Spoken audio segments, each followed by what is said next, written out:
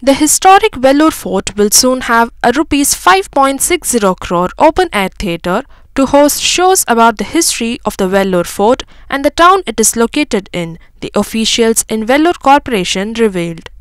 The open air theatre will enable 200 spectators to watch the show at a time and the 3D show will be projected on the walls of the fort through a special projector for which a room is currently being built near Periyar Park. The 3D projector in Periyar Park on the fort Round Road will direct its beam onto the fort walls across the moat, a senior corporation official said.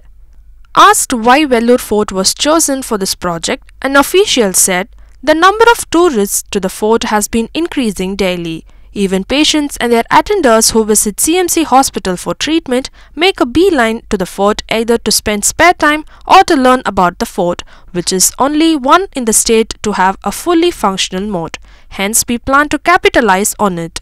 The Vellore Corporation and Archaeological Survey of India, which controls the fort, have both already provided various amenities under the Smart City project, including provision of concrete benches for visitors, improvement of roads inside the structure, street lights and walkways. The exterior of the structure has been embellished with cleaner surroundings while powerful focus lights have been set up on the shore aimed at the fort walls which show the facility in full splendor throughout the night.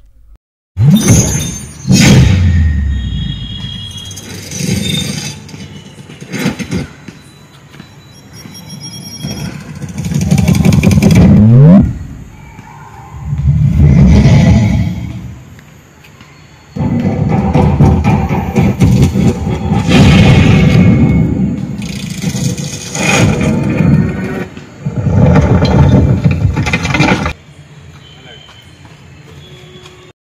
மேலும் கோட்டை நீண்ட நெருங்கிய வரலாறு